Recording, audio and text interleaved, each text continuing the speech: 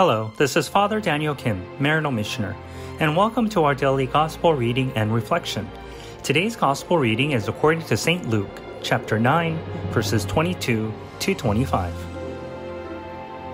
Jesus said to his disciples, The Son of Man must suffer greatly and be rejected by the elders, the chief priests, and the scribes, and be killed, and on the third day be raised.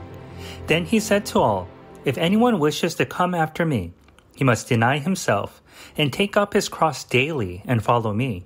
For whoever wishes to save his life will lose it, but whoever loses his life for my sake will save it. And what profit is there for one to gain the whole world, yet lose or forfeit himself? The Gospel of the Lord. Praise to you, O Lord Jesus Christ. This Gospel passage from Luke lays the roadmap to undergoing Lent the right way, that is, through self denial and taking up our crosses daily and following Christ. Jesus did not waste any time trying to sugarcoat any of the challenges we might encounter if we follow in his footsteps, especially in the advent of pandemic. However, one of the things that we can find confidence in was that Jesus led by example. He himself was subjected to the trials that he underlined, perhaps even more.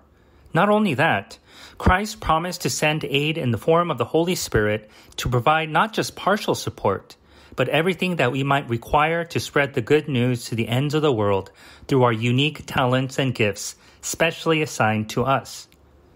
It is through trial and hardships, that is, through the cross, that we are able to find our resilience and fortitude of our spirit because we believe we are spiritual beings embodied. And just like Christ, we are promised eternal life if we believe that our existence extends beyond this world. So, in a nutshell, I believe we ultimately have two choices to sit idly by and squander the precious gifts that only we can share with the world in fear of being ridiculed and rejected, or take up our crosses, have faith in the Holy Spirit working in us, and do our part in building a world where peace, justice, and love will reign. Thank you for listening to today's Gospel reading and reflection. Please be sure to tune in again tomorrow. Have a blessed and resilient day. If you enjoyed today's gospel reading and reflection, please make sure that you subscribe wherever you're listening to podcasts. Also, if you know somebody who may find value in today's reading, please make sure that you share it with them. To learn more about how you can support the work that Maryknoll does around the world, please visit us at maryknollsociety.org. And if you're interested in subscribing to our online magazine, please feel free to visit us at maryknollmagazine.org.